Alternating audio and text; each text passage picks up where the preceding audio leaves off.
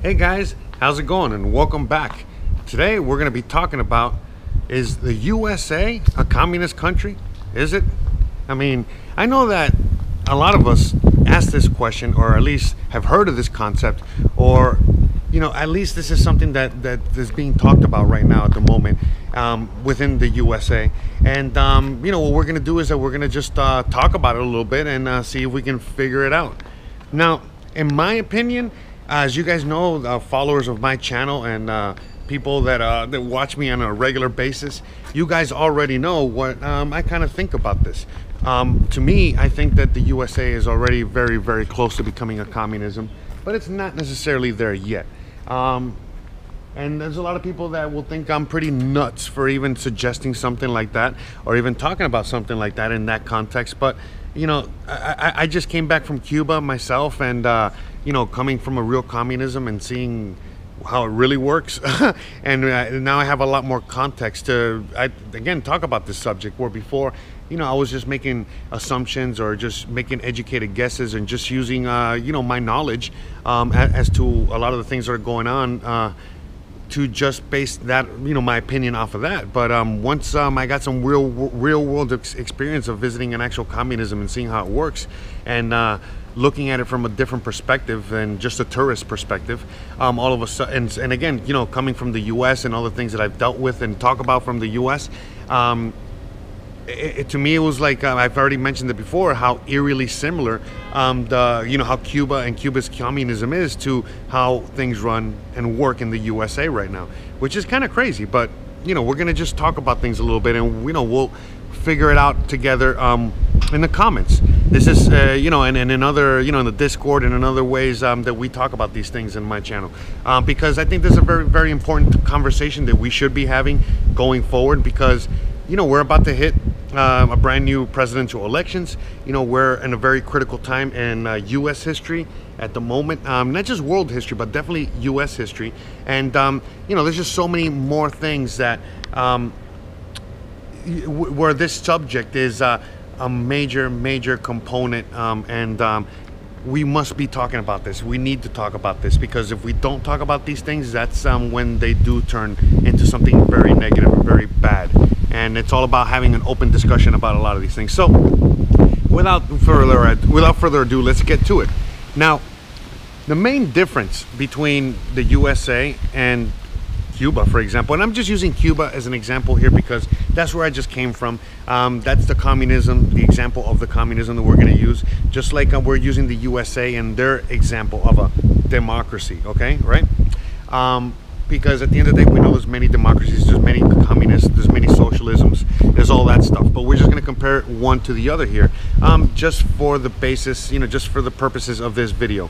Um, so in the U.S., you know, uh, in, in, within the U.S. right now, um, there's a lot of talk. In fact, most people can come to the to the conclusion um, that the USA right now is an oligarchy.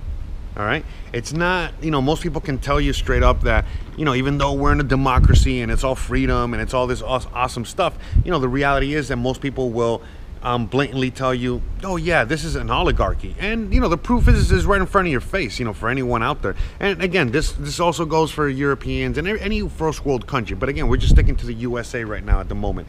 Um, so the USA is an oligarchy, you know, and uh, and it's um, what is an oligarchy? Well, basically, what it is is that an oligarchy is a government that is run by corporations. Okay, and uh, what is a communism? A communism is a government that is run by a dictatorship, usually just a person, one person, or a small group of people.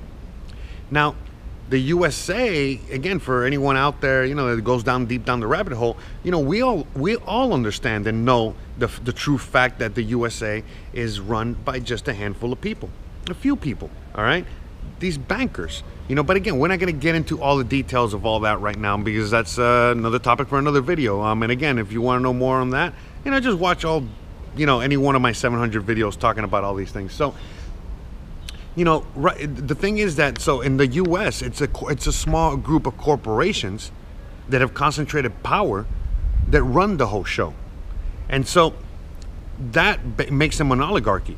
And because that's how the US is run um, most people, when you know you say, "Oh, this is a communism," well, it's not a communism because again, it's not run by a dictator. A lot of people might call Trump or Obama, whoever the hell's in power, or Hillary, you know, any one of these individuals, they might be called a dictator or some sort of, um, you know, overseeing powerful being. But the thing is that they're not. They actually have um, no power, and they're just puppets in this whole big game that um, these individuals are playing. Um, I hope that that noise behind me is not too loud and overwhelming. All right, hold on a second. All right, don't mind the noise back there. I mean, hopefully it's not too bad. It is what it is. What are we gonna do? I gotta finish this episode. All right. So now, you know, when we're to start talking about the facts of, uh, you know, when people say, oh, uh, the USA is not a communism, it's not anything like that. In fact, we're trying to be socialists. We want to vote certain individuals in to bring in socialism and that whole idea. Again, that's a very, very dangerous road to go down. Um, first of all, the USA is already a socialist country. It just is. We're supposed to be a republic, but we're not. We're being told that we are a democracy. And again, what are the differences between these? Well, in a republic, which is what our founding fathers founded, um, in a republic, people vote and they vote for the individuals that will represent them in Congress, in government, and in all these entities. In a democracy, what happens is is that people vote for individuals that will represent their their vote. And then these other individuals that are representing their vote they get to vote for somebody else that they want in power. So again in a democracy when you guys are voting you guys are voting for representatives and then these representatives are going to vote for the real people that are going to be in power okay and that's basically how it works all right and these individuals that's why they um, at the end of the day, they, they promise all these things and they don't deliver and they're not held accountable because, well, that's not what they're there for. All right? And, um, you know, most people just don't know these things. And uh, the reality is that what we, what the, our founding fathers formed back in the day was an actual republic. And that's what we want is a republic. All right? A government for the people, by the people. All right? Sound familiar? But, you know, what they're telling us now is that we have a what? A now what they're not first of all they tell us that we have a democracy but now the other thing that they're telling us now the brand new thing is that we are a socialist democracy. So again socialism. All right? I'm not here defending socialism. I'm, I'm not an i'm not here bashing socialism. I'm just telling you guys how it is. So now it's a democratic socialism. So you already know what socialism is right all right it's just a stone's throw away from communism all right, sorry about that. Got rudely interrupted by the heat. So, as I was saying before I got interrupted, is that they're trying to sell us democratic socialism, okay? And um, yeah, again, sorry, you know, it's crazy. One thing I really didn't notice about um, going to Cuba and that whole deal is the fact that um, it's way hotter out here. It really is hot out here. I see what you guys are saying now all the time. I mean, literally, I've been having so much trouble just filming today's episode. All right, I digress. So, what they're trying to sell us here is a democratic socialism. So, again, we already know our government is a socialist country. Um, again, with the FDR established that, or was start started to establish that way back when. And um, right now, as it stands, um, we, we, just keep getting more socialists. You know, with all these social programs, everything from Obamacare to um, you know, someone like um, Mr. Wang, Yang, whatever his name is, you know, wanting to do universal basic income, to people like Bernie Sanders saying, oh my goodness, you know, we're going to have to pay for this, for school, for, um, you know, all these other programs. And, you know, again, to me, I'm not against any of this stuff. You know, I think a civilized society should be able to provide for its people, especially if, uh, you know, you're paying up taxes up the yin yang. But the point is that they're selling you guys democratic socialism. Okay, so socialism, okay, again, the cousin, you know, the bastard son of communism. Again, socialism is literally so all socialism is is communism minus the dictator. Okay, so they're selling. So what are they selling you? They're selling you democratic socialism. So that means that you vote for individuals, okay, and these individuals vote for other individuals, which will be the ones that are in power. So, for example, you know, in a democratic socialism, you know, which is already what we have. Um, by the way, you know, what you do is that you go to vote, You vote for these representatives, and then these representatives vote for their interest. You know, aka, you know, that's where the lobbyists come in. That's where all these, you know, other special interests come in because you know they're voting for them. They're they whatever these um, corporations want, whatever these uh, um, individuals want out there, like again the lobbyists and uh, all these special interests, they are the ones that you know are literally get you know to decide what happens, and we know this. We we talk about it all the time. And they don't represent you, the people. They they, they don't. And, and literally in a democracy, they don't. That's not what they're supposed to do. So that's why, you know, even though that's why they continue doing all this stuff and no one's the wiser. And everyone's like, oh, we need to fix this, we need to drain the swamp, we need to do all these things, but none of these things are the solutions. Okay? Now, you know, again, now let's talk about something else. Let's talk about freedom of speech. So in a, in a communism, oh yeah, so again, so you know, just to finish off there, you know, you, you think that you're voting for your elected officials, but you're really not. Just like in a communism, you they say that you're in an open election, but you're really just electing the same dictator and his cronies over and over again. Just like in the USA, just like in other parts of the world. It's so your democracy. So that's that's number one. Number two, when it comes to freedom of speech, very easily. Again, you know, um, you in, in the in, in Cuba, you can say anything. In most communisms, you can say just about anything, except you cannot talk bad about the government. You cannot talk bad about your masters. Okay, so in the USA, it's the same idea. You know, you can. So, for example, you can talk in, in China or in Cuba, you can talk shit about a corporation or a company, no problem, but you cannot talk bad about the government. So how it works in the USA, in which it is a oligarchy, in which a, the governments are run by corporations instead of the other way around, instead of the government running the corporations and what they do within their land. It's remember in the in the USA, it's an oligarchy. Again, the corporations tell the government what to do. So how that works there is that you can talk all the shit you want about the government. You can talk, you can talk about Trump. You can talk about Hillary. You can do all kinds of things. Again, the only one that's coming after you there is like the Clinton Foundation. If you talk a little bit too much shit, again, I feel like if I say Clinton three times in a row, it's like Beetlejuice or Candyman, right? Anyways, but the point is, be careful. the point, I end up like Gaddafi. All right, all right, no more jokes. Okay, but the, the point is that like here, it's the oligarchy. So that's why you cannot talk ill will about corporations. You can't, you know, there's ag-gag laws, you know, so you know all this factory farming, you know, that happens all the time all around the U.S. Um, that we all complain about. Um, no one can talk anything about that because if you talk bad about these factory farming situations, then you get arrested, you go to jail, you get in trouble. If you talk bad about the police, if you talk about bad about the prison industrial complex, if you talk about bad about a lot of these industries, the banking industry, you know, the, all these industries that run the U.S. of A. If you talk bad about media, all these industries, they will come after you because these are the the bosses in charge. All right, you can talk all day long. You can literally make fun of Mr. Orange Man bad all day long. You can talk about you know any politician all day long, no problem. But the minute that you start talking about you know the beef industry, be careful. You're done. You know, ask Oprah, ask anybody. All right.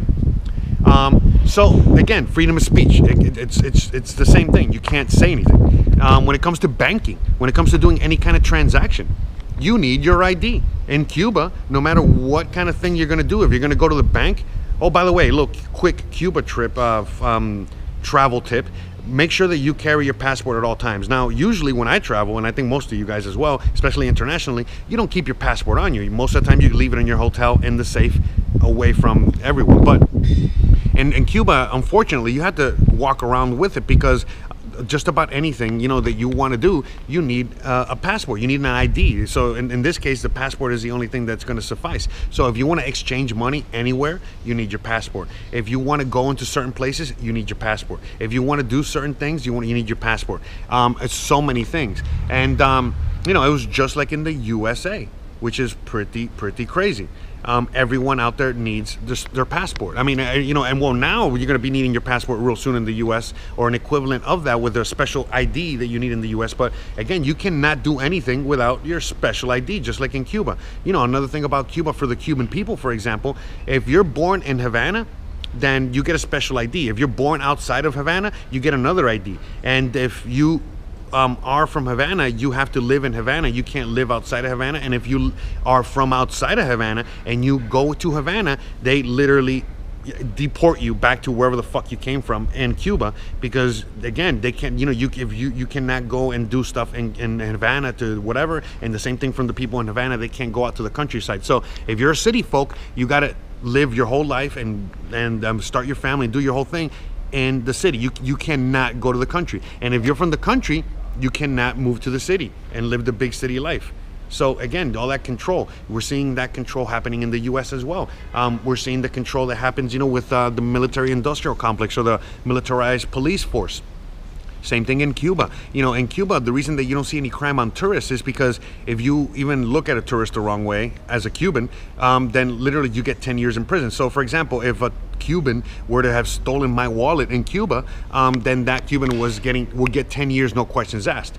You know, um, for prostitution, for example, as uh, an individual going out there, you know, any tourist, any anyone out there that is not a Cuban doesn't get in trouble. A Cuban, they get in trouble. So it's the same thing in the U.S. You know, if you come from China, you come from Saudi Arabia, you come from any one of these countries, and you commit crimes in the U.S., you know, you're, you're free and you're let go, and especially if you got money, and that's not a problem. You know, where it's not necessarily the same thing in the USA. You know, you're an American citizen and you get caught with a little bag of weed, and you're gone. You're gone for a very long time, and your resources are gone, and so many things are gone, and your life is a living hell. And and that's the thing. You know, it's just like so many things like that. You know, you as an individual, as an American citizen, can't leave the USA. Then they don't let you leave the USA. They make it very, very, very difficult to leave the USA. They they hold you down and control you with taxes, with laws, with bureaucracy. A lot of these things that are happening in Cuba. Hey guys, sorry about that again. It really is hot and humid out here. And uh, either that or just like, I guess the topic really is way too hot for this camera and YouTube to handle and just everybody to handle. It's probably why nobody really talks about this. But, you know, just to finish up what I was saying, just to see if I can come full circle on here and uh, perhaps we can continue the conversation down below in the comments, continue the conversation in the Discord and elsewhere. You know, at the end of the day, guys, you know, it's, it's all about control. And right now, you know, we all know fully well that in the US they're instituting so much control, whether it's controlling what you say, what you do, where you go, how you spend your money, how, how you know everything you know everything you do um, you, you know you're about to have a social credit score like they do in china um, they have something very similar already in, in other communist countries, in other socialist countries, and so on and so forth. I mean, this is only the beginning. It just really is. And so, right now, when me or other individuals out there are saying that the USA is about to become a communism or it's on its way to become a communism, we're not necessarily talking out of our ass. And in a lot of cases, like in mine, for, for you know, for the moment being, I've actually been to a communist country.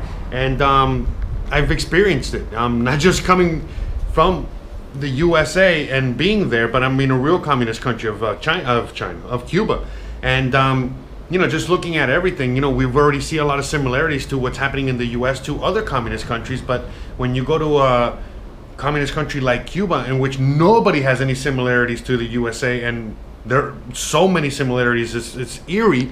It's like wow, it just keeps adding more layers and more layers to all this. And, um, and again, another reason why I love Mexico so much, and I live out here in Mexico. Again, to add some more context, I'm an American. My parents fled Cuba when it was a communism. So I have background in that already. You know, again, I come from the US. I never felt free or safe or anything there until I left.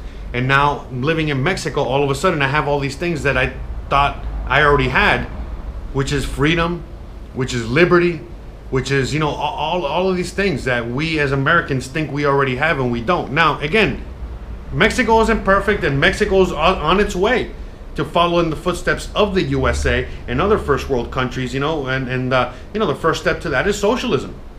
The president they have here, they just voted in, you know, he was promising socialist reforms.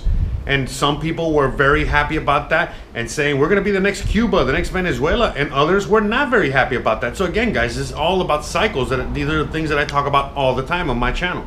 So right now, the USA is just in a portion of its cycle. The, USA right now is going through its cycle. It's ending its cycle, and uh, not only is it ending its cycle of uh, the republic of governance, it's also going through its end of its cycle of the dollar, of the petrodollar. Again, we talk about this stuff on my channel all the time. And why? Another thing that we talk about on my channel all the time, which always correlates together with all the all, everything, is the fact that all, all this technology that we have at the moment, which is either Bitcoin, you know, blockchain, decentralization. Um, all of this stuff okay all of this stuff that is going is allowing us you know to build a brand new internet a brand new system that doesn't rely on a few on a few individuals it does not rely on government it doesn't rely on anyone or anything and um, you know right now there's this guy named Kim Dotcom i suggest you guys look him up but he is creating or he's starting to begin to create a decentralized web, a decentralized social network. There's others out there already creating decentralized social networks. Um, and I'm not just talking about the Gabs of the world. I'm talking about things like Voice, which is created by EOS, um, a crypto project, and there's just so many out there. Again, this is when I'm not trying to get off the conversation here, but the thing is that in order for the cycle to end, we must put an end to it. And the only way that we can put an end to it, in this case, is through technology. I mean, it's through revolution and through so many other things, which are, you know, plainly obvious, you know, but for those out there that don't think, you know, that don't know it's obvious, I mean, that's what we have to do. But part of that revolution, the tools that we need for that revolution are things like the crypto, like technology, you know, the technology that comes from the crypto space. And thank God that as each day progresses, these individuals out there, whether whether it's the banks or the governments, they're losing power, and other individuals out there like us are gaining power. We're gaining a stronger voice. We're gaining more and more power as a whole, as a community, as in everything. And again, that's eventually what's going to help push forward this revolution. And once this revolution is in full swing, we have the technology, the tools, the weapon, okay, the weapons, is, which is the technology in order to combat this stuff. And I'm not talking about, you know, Second Amendment, have your guns, have your rocket launcher. I'm literally just talking about, you know, not just your brain up here, but the technology that we talk about on this channel and on many channels all the time. And um, that's it, guys. You know what I mean? At the end of the day, um, we I, the reason we need to know about our history and our past and the fact that the U.S. is going into a communism and um, we we need to be aware of these things is that because if we don't know what the problem is and how the hell are we ever going to come up with a solution? So that's why we need to always, always, always consider our past, study our past because those that don't do that, they're gonna they're doomed to repeat it. And again, history doesn't repeat; it rhymes, and we need to you know take heed from that. We need to learn from that okay? We need to educate ourselves from that and make sure that we don't you know um, commit the same mistakes that others have and others will. These same mistakes are going to continue to get committed by other individuals out there. So why the reason that you learn and you educate yourself is so that you don't repeat the same mistakes that everyone else repeats okay? And you are the end up being the cream of the crop. And again it doesn't take a rocket science okay to do all any of this stuff. It just takes knowledge and balls all right? And that's about it guys all right? And i think you guys have that okay? Even if you're a woman out there you know whatever you have down there whatever in, in, internal fortitude you have out there all right guys? So I hope today's episode was good. I hope it was informative. I'm about to edit it right now. It's a shit show of stuff that I've recorded throughout the day as this camera kept turning off with the heat and the humidity. So hopefully I have a good episode here. I think I do. Um, but regardless, hey, this is all right. We have tomorrow to try again. But re- uh, no matter what, I just want to have this conversation. I wanted to make this video. I wanted to throw this out there so that we can all collectively attack this and start learning and start doing what we need to do in order to better ourselves and better humanity. All right? All right, guys. Well, thank you so much for being here today. Don't forget, uh, first of all, I want to give a big shout out to all my patrons. I want to give a big shout out to every one of my supporters. Give a big shout out to Lambo and his horse head. Give a big shout out to everyone out there. I freaking love you guys. You guys are the best. You know, um, thank you, thank you, thank you. Thank you for buying t-shirts. Thank you for supporting me. Thank you for every single one of the things that you do. Even if it's just a thumbs up, even if it's just a comment, even even if it's a thumbs down. Seriously, thank you, thank you, all of you. And um, that's it, guys. Don't forget to please like, please subscribe, please share, please hit that bell icon, and please stay awesome. All right. So thanks again for watching, and I'll see you guys mañana. You already know daily uploads on this channel. So be here or be square or, or round. I'm, I'm kind of round. Don't be square. Later.